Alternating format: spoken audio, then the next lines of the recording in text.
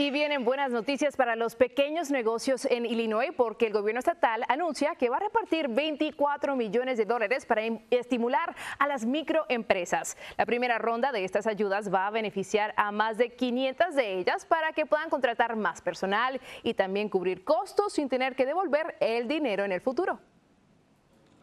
Estamos muy agradecidos, muy bendecidos de esta oportunidad.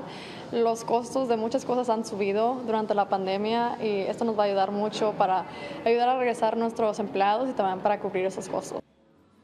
Y si las ayudas son bien aprovechadas, el gobierno de Illinois anuncia que hay hasta 250 millones de dólares disponibles para seguir entregándolas. Así que si tiene un pequeño negocio, aprovechelo.